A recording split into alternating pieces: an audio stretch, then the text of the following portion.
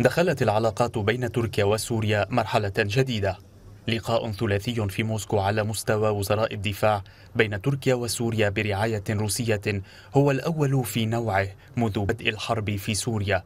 وتحول بارز في العلاقات بين الجارتين منذ أن اختارت أنقرة التدخل في الحرب.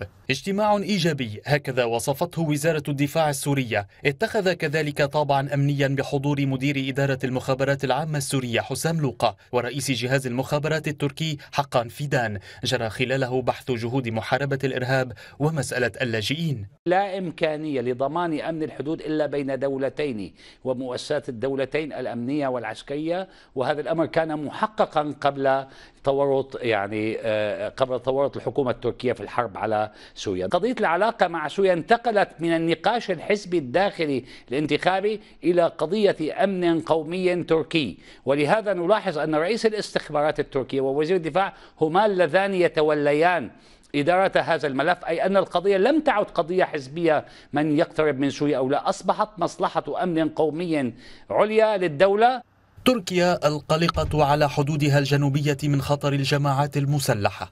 وصفت بدورها الاجتماع بالبناء مؤكدة ضرورة استمرار الاجتماعات الثلاثية.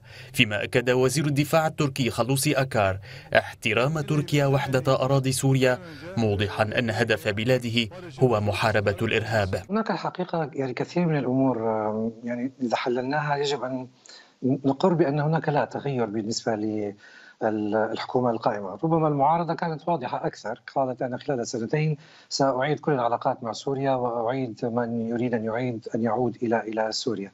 يعني أسوأ من ذلك ماذا سيحصل؟ الولايات المتحدة الأمريكية تدعم قسد تدعم بي كاكا والحزب الكردستاني تركيا بعد ذلك ستقول لها أنا لا أستطيع لأن المنطقة أو الأمن القومي التركي أصبح في خطر وعندما يصبح هذا الأمر في خطر لن تستمع إلى هذه القضية. اجتماع استثنائي في الشكل والمضمون لم يأتي حتما ولد الصدفة. فاللقاءات بين رئيس جهاز المخابرات التركية حقان فيدان ورئيس مكتب الأمن الوطني السوري علي مملوك في دمشق تكررت مؤخرا وسعت لتمهيد الطريق لجلسات على مستوى أعلى. على وقع هذه اللقاءات برزت رغبة الرئيس التركي رجب طيب أردوغان بلقاء نظيره السوري بشار الأسد مستندا إلى ترحيب وتشجيع روسيين. وفي انتظار حصول هذا الاجتماع تتجه الأنظار إلى واشنطن التي قد تحاول عرقلة هذا المسار الجديد من العلاقة بين تركيا وسوريا في ظل اختلاف مقاربتها للملف السوري مع أنقرة.